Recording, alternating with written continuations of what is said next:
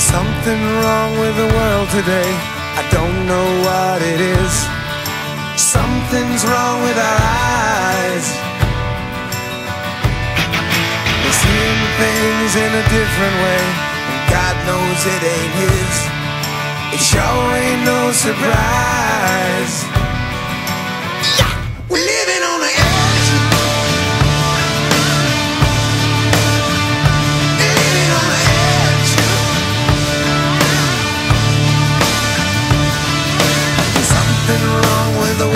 today.